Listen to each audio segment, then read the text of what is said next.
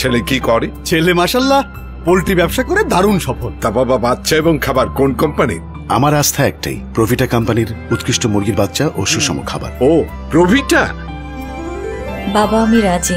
আলহামদুলিল্লাহ। আমার খামারে প্রভিটা ফিড খামারি আমার super hit Provita feed and hatchery limited